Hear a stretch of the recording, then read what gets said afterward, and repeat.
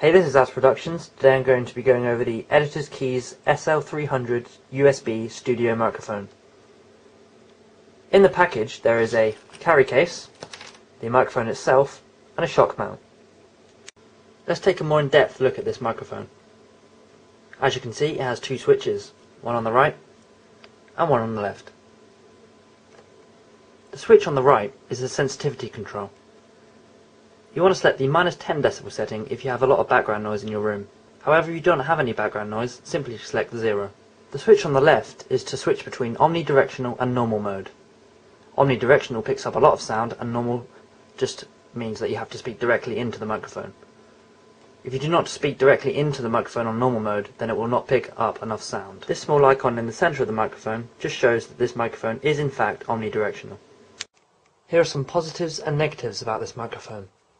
One would be how simple it is to connect to your PC via the USB. Another feature would be this microphone's build quality. It feels as if it's been built with quality in mind.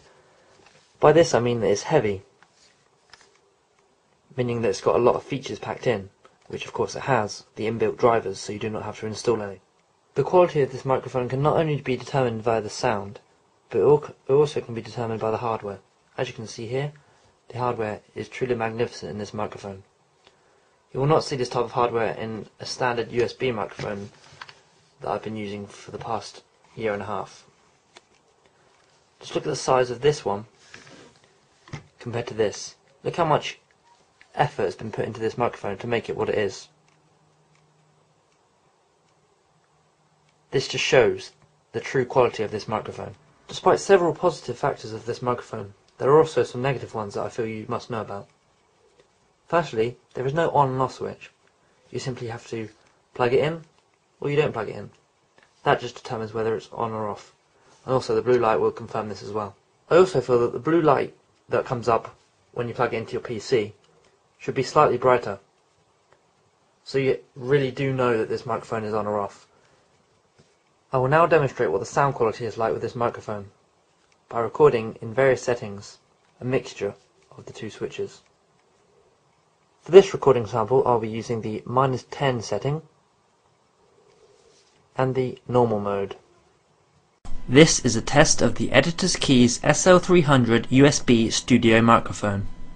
For this setting I'll be using the minus 10 decibel setting along with the omnidirectional setting.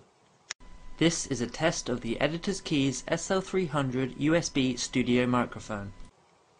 For this recording sample I'll be using the 0 decibel setting and the normal setting.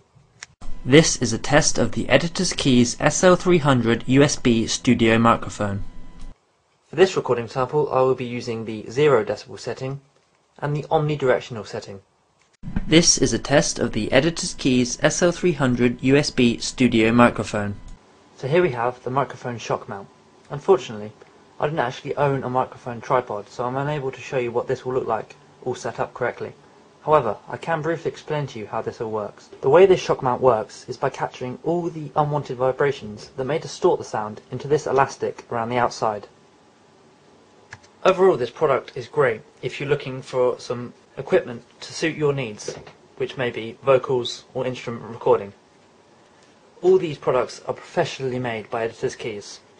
As you can see here, this includes a USB cable to help you get going, the microphone itself, a shock mount and a carry case. Thank you very much for watching this. This has been Adz Productions review of the Editor's Keys SL300 studio microphone.